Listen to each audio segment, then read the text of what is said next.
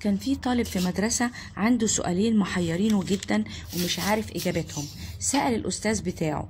فالأستاذ قال له قول يا ابني إيه هي الأسئلة؟ السؤال الأول هل الله موجود وما هو شكله؟ والسؤال الثاني إذا كان الشيطان مخلوق من نار فلماذا يلقى فيها ليعذب بعد ذلك وهي لن تؤثر فيه لأنه من جنس النار؟ كل اللي عمله الأستاذ إنه صفع الطالب على وجهه بالقلم وقال للطالب أنت لما أنا صفعتك على وجهك أنت حسيت بإيه؟ الطالب قال له حسيت بالالم الأستاذ سأله قال له تقدر توريني الالم أو الوجع اللي أنت حسيت بيه؟ عايز أشوفه. فالطالب قال له لا طبعا ما أقدرش. فالأستاذ قال له كده يبقى ربنا بنحس بيه بس مش بنشوفه.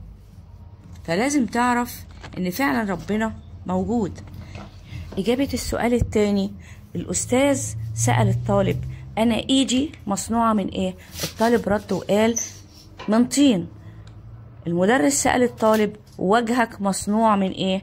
قال له برضه من طين الأستاذ رد وقال له ماذا تشعر بعد أن صفعتك؟ قال له أشعر بالألم قال له إذا كيف الطين يؤلم طين؟ الأستاذ بيقول للطالب إزاي الطين بيؤلم الطين؟ دي إرادة ربنا وخلقه. فبالرغم من إن الشيطان من نار هتكون النار مكان أليم وعذاب للشيطان طبقا لمشيئة الله. وهو يا رب تكون حكايتي دي عجبتكم ويا رب تعجبكم قناتي.